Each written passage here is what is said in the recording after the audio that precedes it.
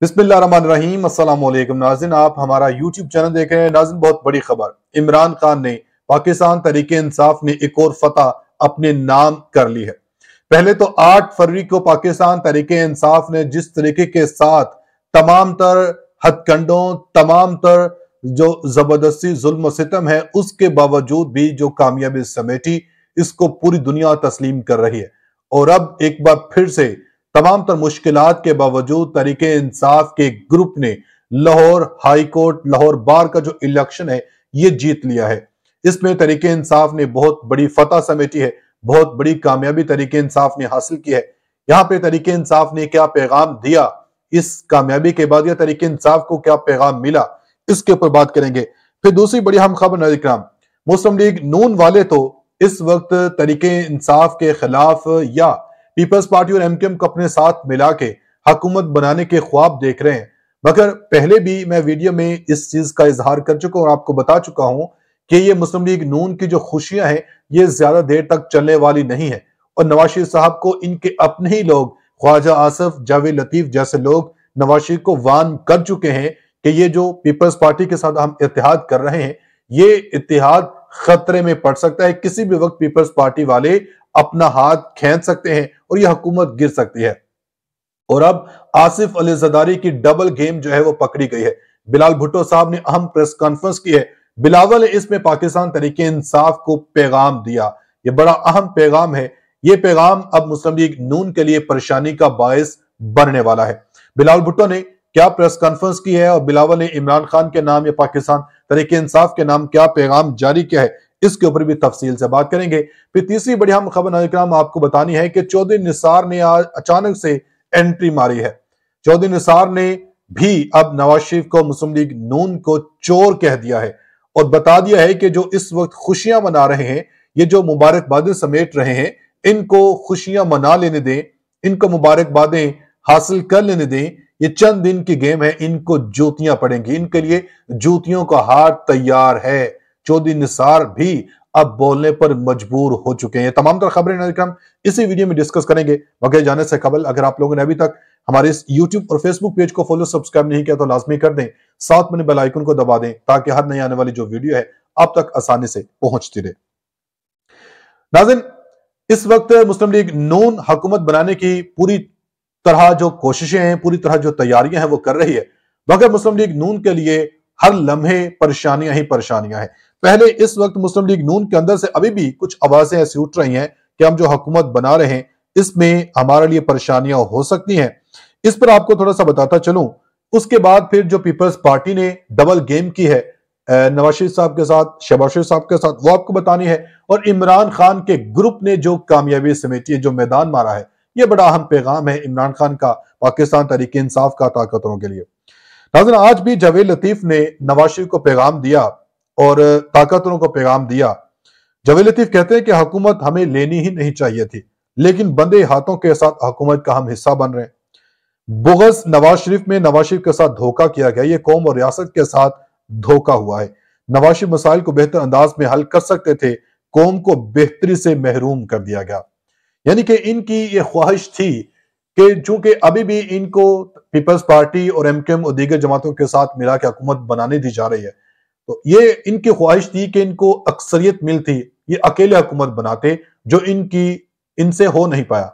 چونکہ اگر اکیلے حکومت بناتی تو وہ صرف اور صرف پاکستان طریقے انصاف ہی اس وقت اس پوزیشن میں تھی جن کو حکومت بنانے نہیں دیا گیا۔ تمام تر حربے اپنائے گئے تاکہ طریقے انصاف جو ہے وہ آگے نہ آ سکے۔ مگر اس کے باوجود طریقے انصاف نے قومی اسمبلی میں سب سے زیادہ نشستیں جیتی ہیں، تمام تر جبر، تمام تر ہتھ کنڈوں کے بعد بھی۔ تو آپ اس چیز کا اندازہ لگائیں، اس دن کا اندازہ لگائیں جب طریقے انصاف کو مکمل طور پہ فری اینڈ فیئر الیکشن لڑنے کا یا الیکشن کمپین کرنے کا موقع ملے گا۔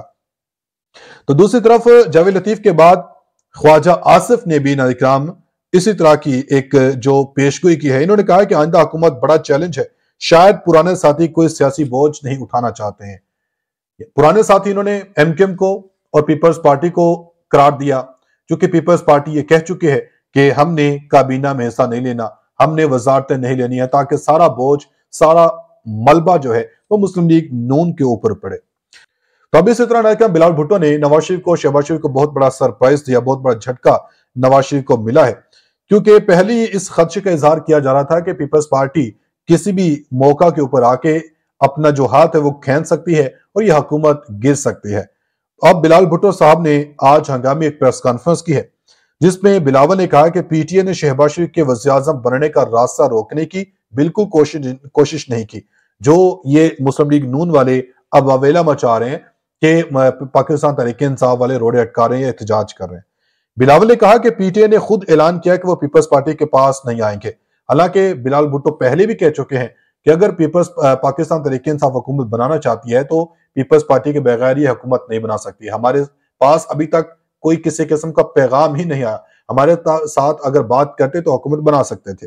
جب وہ نہیں آئے تو پھر ہماری اکثریت بن گئی۔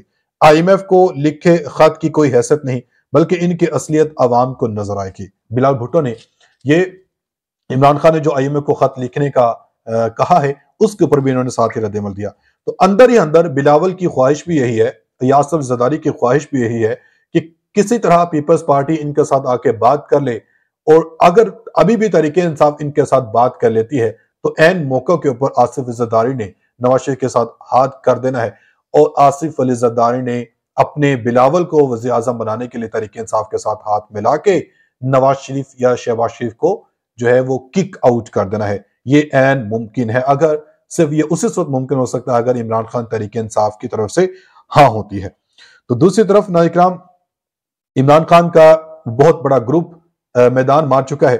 پاکستان طریقے انصاف کے حمایت یافتہ گروپ، لاہور ہائی کورٹ کے سالانہ بار انتخابات میں پروفیشنل گروپ کے امیدوار اسد منظور بٹ نے جو ہے وہ میدان مارا اور یہ صدر منتخب ہو چکے ہیں۔ یہ پاکستان طریقے انصاف کا جو گروپ ہے، حامد خان، ان کے یہ امیدوار تھے۔ انہوں نے چھ ہزار ایک سو پچانوے ووٹ حاصل کیے جبکہ ان کے مد مقابل آسما جہانگیر گروپ کے امیدوار ثاقب اکرم گوندل تھے۔ اور پاکستان طریقے انصاف نے یہ جو کامیابی سمیٹی ہے، یہ بڑا پیغام ہے طاقتوروں کو، اور اس کامیابی کے بعد، اس جیت کے بعد لاہور بار کے اندر کون بچائے گا پاکستان؟ عمران خان قید نمبر آٹھ سو چار کے نعرے تک بھی لگائے گئے، اور یہ صلح کا پیغام بھی پہنچایا گیا کہ اگر پاکستان کو بچانا ہے، پھر عمران خان کو واپس لے کے آنا ہوگا۔ تو اب میں آپ کو بتاتا ہوں کہ چودہ نثار علی خان نے اچانک سے انٹری دے ماری ہے اور انہوں نے نواز شریف کو چور قرار دے دیا، ڈرپوک قرار دے دیا ہے۔ چونکہ اس جو الیکشن ہوا، دھاندلی جس طریقے کے ساتھ کی گئی عوام کے مینڈیٹ کے اوپر ڈاکہ ڈالا گیا، اس الیکشن کو کوئی بھی قبول کرنے کو تیار نہیں۔ چودہ نثار نے بھی اسی کے اوپر آج ایک گفتگو کی ہے۔ اور جس طریقے کے ساتھ مسلم لیگ نون کو دھاندلی کر کے ان کو اتنی زیادہ سیٹیں دلوائی گئی ہیں اور یہ سب کو اندازہ ہے کہ کیسے ملی ہیں۔ چودھری سار کہتے ہیں کہ ایم این اے ہوں، میں ایم پی ہوں، یہ اس طرح کہتے پھر رہے ہیں۔ یہ جو مبارک بادیں لے رہے ہیں، ان کو مبارک بادیں لے لینے دیں، ان کو اسی طرح جوتیاں پڑیں گی۔ یعنی کہ نواز شریف کے لیے، مریم نواز کے لیے، شہباز شریف صاحب کے لیے جوتیوں کا جو ہار ہے، وہ تیار ہے۔ جیسے ہی ابھی یہ حکومت بنائیں گے، حکومت بنانے کے بعد عوام میں جائیں گے اور عوام، جو عوام مہنگائی کا جن جب بے قابو ہوگا، عوام ان سے حساب مانگے گے اور عوام ان سے تمام تر ظلم، تمام تر مظالم کا بدلہ لے گی۔ اور ان کو پھر عوام سے جوتیاں پڑیں گی۔ اس وقت یہ جو مبارک بادیں لے رہے ہیں، اس وقت جو یہ خوش ہو رہے ہیں، ان کو خوشیاں منا لینے دیں۔ یہ ان کو بخوبی اندازہ ہو جائے گا کہ ان کے ساتھ آگے کیا ہونے والا ہے۔ اب تک اتنی اپنی فیڈ بیک ہے۔ اظہار کمنٹ سکس اپنا خیال رکھیں۔ ملیں گے اگلی ویڈیو میں، تب تک کے لیے اللہ حافظ۔